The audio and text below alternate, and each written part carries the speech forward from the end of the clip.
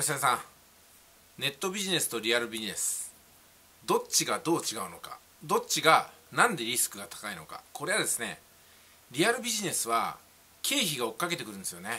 これね毎日毎月ですよ経費が追っかけてくるのは。でもネットビジネスは経費が全く追いかけてこないんですよ、まあ、ですんでリアルビジネスだったら例えば3ヶ月以内にキャッシュフローをプラスにしないといけないって課題はあるんですけどもそもそもリアルビジネスはあのマイナスからスタートなんですよね。しかも莫大なマイナスです。店舗なんて30年ぐらいの返済からスタートですからね。いつになったら利益出るんやみたいなね。十数年後ですよ。こんなことやるんですよ。じゃあその間に天変地異でも一回起きたらねコロナみたいなことがあったら。終わりじゃないですか。でもネットビジネスってリアルビジネスと基本的にやること一緒なんですけども経費が追っかけてこないんで1年やっても2年やっても3年やっても芽が出ませんでしたって言ってもまだ続けられるんですよ。マイナスがないんで。ってことでどっかで当たるんですよね。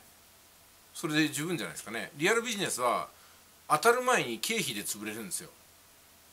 ですよね。いやこれ大きな違いだと思いますよ。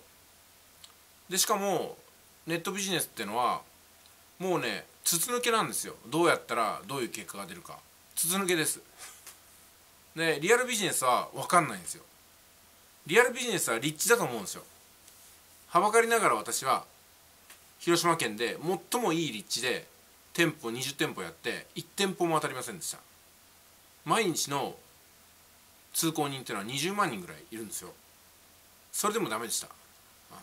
でそもそも立地がいいところの店が絶対うまくいくんだったらそしたらね歌舞伎町の一番街とかね渋谷のハチ公前とか店舗の入れ替えないですよね。だって場所がいいわけでしょ？場所が良くてもダメなんですよ。でもネットの場合は向こうから検索でやってきてくれるんですよね。検索でやってこなくてもこちらの発信が多ければどっかで当たるんですよ。誰かに当たるんですよ。だからこんなにいいポジションないですよねネットビジネス。経費がかからずにいつかは当たると。リアルビジネスはいつかは当たるのは一緒でも当たる前に経費で潰れるんですよ。